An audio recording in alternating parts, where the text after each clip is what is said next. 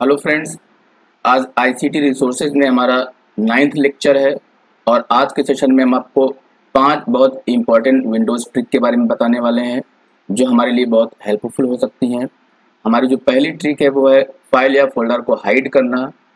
दूसरी ट्रिक में हम बताने वाले हैं कि हम किसी भी फ़ाइल या फोल्डर को कैसे प्रोटेक्ट कर सकते हैं, कि कोई उसे ओपन करे तो वो ओपन ना हो।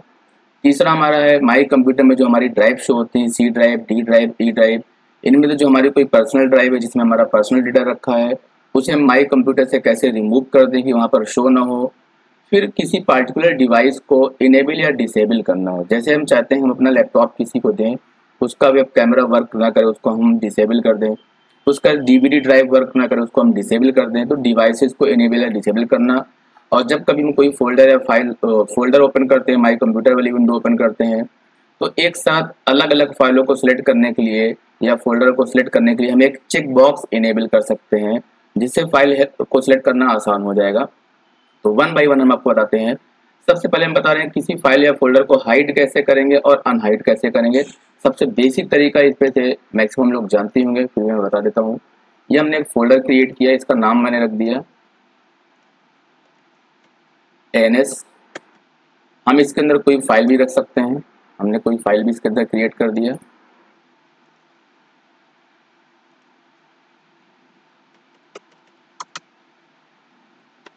कुछ डेटा भी हमने टाइप कर दिया। अब हम चाहते हैं कि ये फोल्डर हमारा हिडन हो जाए हाइड हो जाए दिखाई न दे किसी को। तो सबसे पहले इस पर हम राइट क्लिक करेंगे देन प्रॉपर्टीज़ पे जाएँगे। यहाँ पर सामने देखिए हमें एक ऑप्शन मिल गया हिडन का। हम हिडन पर क्लिक करके अप्लाई कर दें या ओके कर दें, क्योंकि इसके बाद तो हमको ये डायलॉग बॉक्स क्लोज करना ही करना है। अभी क्या पूछ रहा है कि इसके अंदर जो सब फोल्डर्स हैं, वो भी हिडन हो जाएँ? ओके ओके, कर दिया। अब देखिए, ये फोल्डर हमारा हिडन हो गया डेस्कटॉप पे, दिखाई नहीं दे रहा है।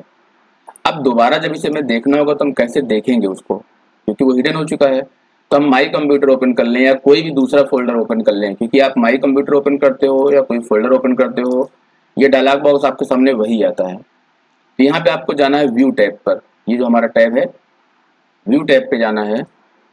और यहाँ पे आपको मिलेगा ऑप्शन में change folder and search option अगर आपके सिस्टम में विंडोज़ सेवन या एक्सपी है तो व्यू के अंदर ही आपको नीचे ऑप्शन आपको लास्ट में मिल जाएगा व्यू यानी व्यू में मेनू बार पूरा खुलेगा और लास्ट में आपको मिलेगा व्यू यहाँ विंडोज़ टेन मेरे में है तो मैंने व्यू टैब पे क्लिक किया और लास्ट में मिलेगा ऑप्शन यहाँ पर हमें क्लिक करना है change folder and search option इस पर हमने क्लिक कर दिया. अब इस डायलॉग बॉक्स में जो फोल्डर ऑप्शन का डायलॉग बॉक्स आया है, इसमें हमें दोबारा क्लिक करना है व्यू टैब पर. और यहाँ देखिए लिस्ट है चीज़ों की जिसमें show hidden files folders and drives यानी जिन ये फ़ाइल फोल्डर को हमने हिडन कर दिया है, हम उन्हें भी शो करना चाहते हैं। अब हमने ओके कर दिया। अब देखिए, कि जो फोल्डर हमने हाइड किया था, वो भी यहाँ पर आ गया है, लेकिन वो डिसेबल है, जो इस बात को रिप्रेजेंट कर रहा है कि हमारा फोल्डर हिडन है। अब इसको हमने ओपन करके सारा वर्क कर लिया, या इसे हमें नॉर्मल करना है तो हम राइट क्लिक करके प्रॉपर्टीज़ पे जाके फिर इसको हिडन वाला हम चेक बॉक्स हटा के अप्लाई एंड ओके कर देंगे। अब ये हमारा नॉर्मल हो जाएगा। कभी कभी क्या होता है कि आप किसी फोल्डर को हिडन करते हो तो वो डिम्ड कलर का तो हो जाता है, लेकिन स्क्रीन से गायब नहीं होता। जैसे अभी को हम राइट क्लिक करते हैं प्रॉपर्टीज़ करते हैं, फिर हम हिडन वाले चेक बॉक्स पे क्लिक करके अप्लाई एंड ओके कर देते हैं, मान लीजिए। अब देखिए, ये डिम्ड कलर का तो हो गया, लेकिन डिस नहीं हो रहा, यानी हाइड नहीं हो रहा है। ऐसा इसलिए है, क्योंकि फोल्डर ऑप्शन में जो हमारा चेक बॉक्स है do not show hidden files वो इनेबल नहीं है। तो हमने माई कंप्यूटर ओपन किया लास्ट में ऑप्शन पे गए change folder and search option folder option में हम व्यू टैब पे गए, और यहाँ पर हम क्या कर देंगे? Don't show hidden files and folders क्योंकि जब इस वाले बॉक्स पे क्लिक होगा show hidden files and folder तो उन सारी फाइलों को भी शो करेगा जो हिडन है। बस वो डिम्ड कलर की होंगी, आपको पता चल जाएगा कि ये फाइलें हाइड की गई हैं। तो आमतौर पे हम इस वाले रेडियो बटन पे क्लिक करते हैं don't show hidden files and folders यानी हम हिडन फ़ाइल या फोल्डर ड्राइव को नहीं शो करना चाहते हैं। अब जैसे ही हम ओके करेंगे डेस्कटॉप पर देखिए, फिर जो हमारा फोल्डर था अनुसार नाम थे वो डिसअपियर हो गया। ये मैंने आपको पहली ट्रिक बताई, पहला तरीका बताया फ़ाइल या फोल्डर को हाइड करने का। एक दूसरा तरीका हमारा है, हम चाहते हैं हम फ़ाइल या फोल्डर को हाइड न करें, लेकिन तब भी उसको हम प्रोटेक्ट कर दें, कोई उसको ओपन ना कर पाए। ये मैं बता रहा हूँ। अभी हम नए फोल्डर एक क्रिएट करते हैं। दे दी हमने इंडिया। इसके अंदर मैं एक फ़ाइल क्रिएट कर लेता हूँ। यूपी यहाँ मैंने लिख दिया गुड मॉर्निंग एक तो होता है कि हमने फ़ाइल या फोल्डर को हिडन कर दिया है, वो शो ही नहीं हो रहा। जैसे अभी इंसान नाम का फोल्डर हिडन है, ये इंडिया नाम का फोल्डर है, हम इसे हाइड नहीं करना चाहते हैं। हम इसे सिर्फ़ प्रोटेक्ट करना चाहते हैं कि मेरे अलावा कोई दूसरा बंदा इसको ओपन ना कर पाए। ये हम कैसे करेंगे?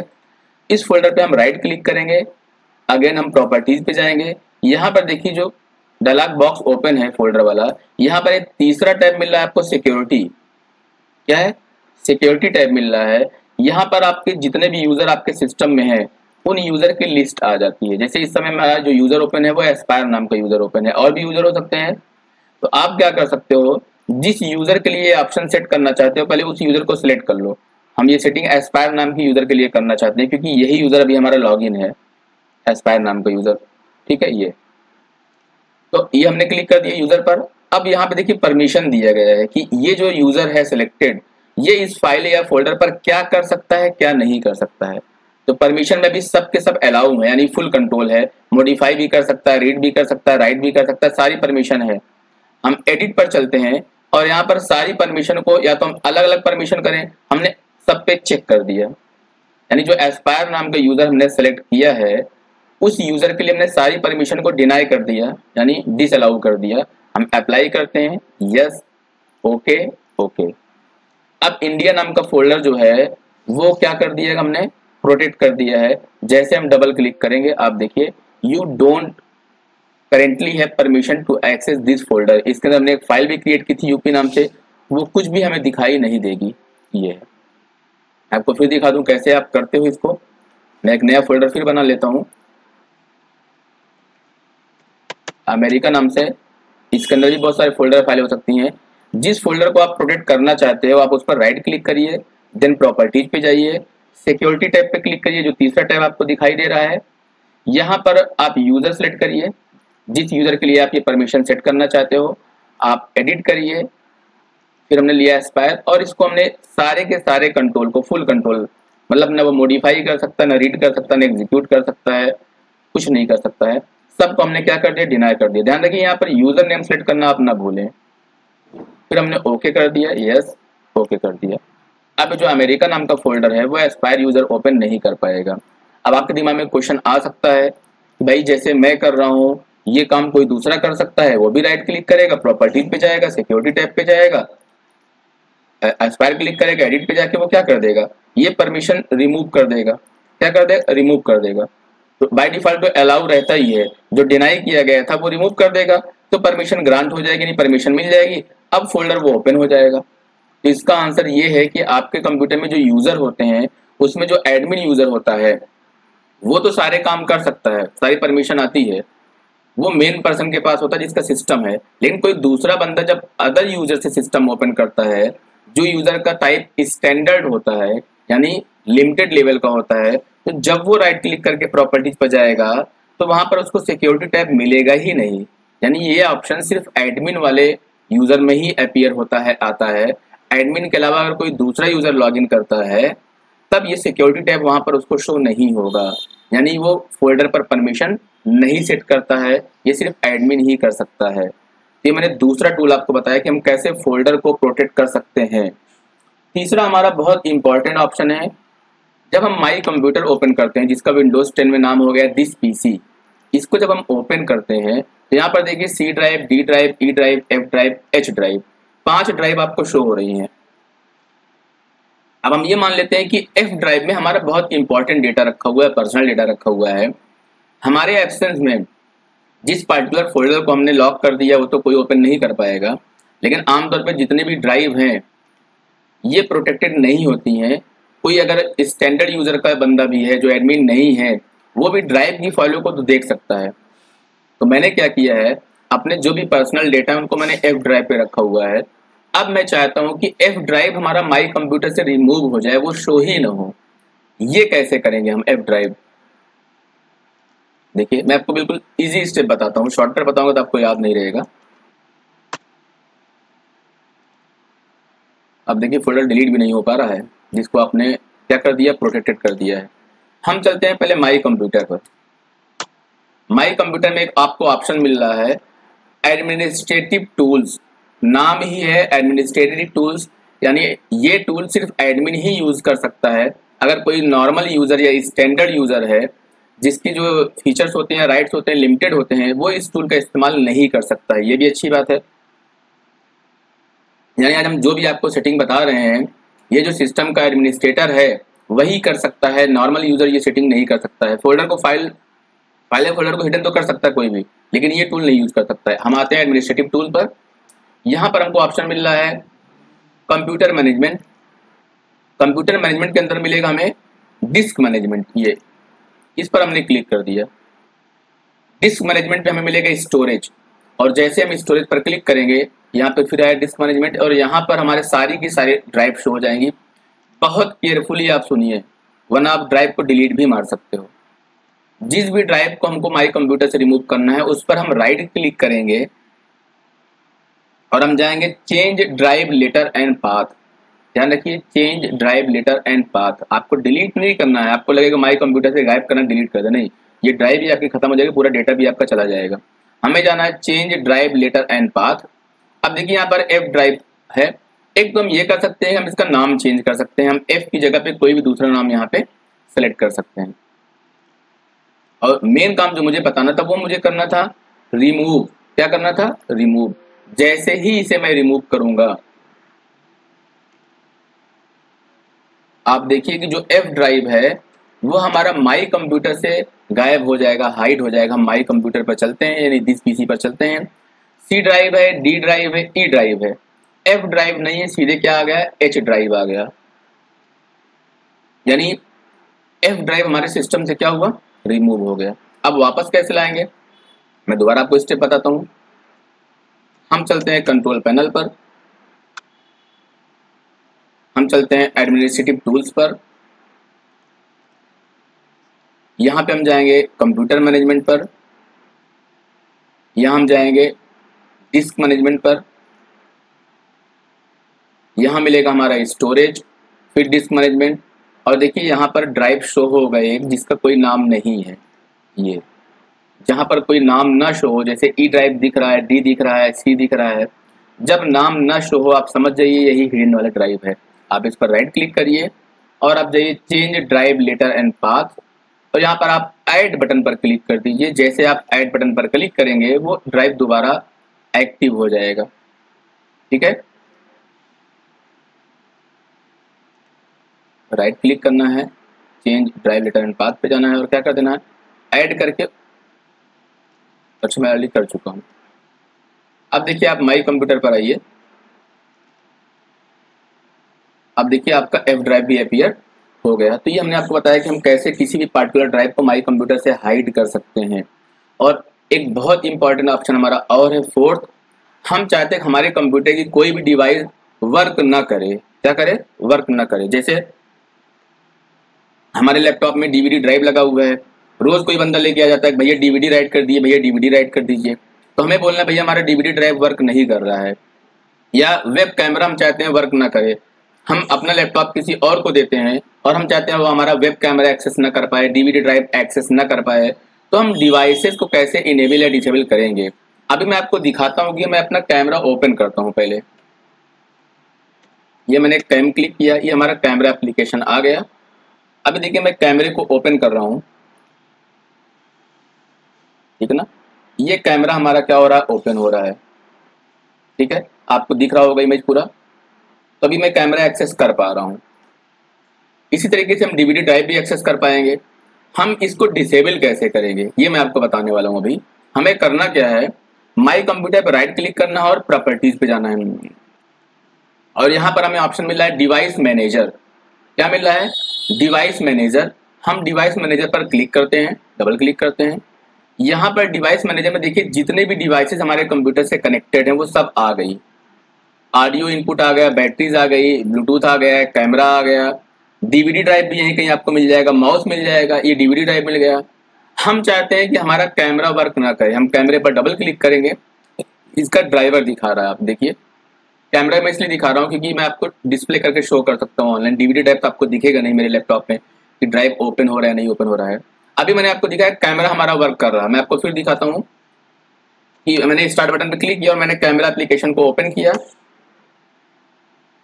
ठीक है? ये कैमरा मैंने ओपन कर दिया। मैं अपना फेस इसलिए छिपा रहा हूँ कि सुबह सुबह मैं उठ के क्लास लेने स्टार्ट कर दिया, अभी नहाया धुला नहीं हूँ। ठीक है? तो ठीक है कैमरा हमारा वर्क कर आपने देखा। अब हम यहाँ पे कैमरे पे क्लिक किया हमने। मैं फिर बता दूँ यहाँ तक कहाँ से पहुँचेंगे।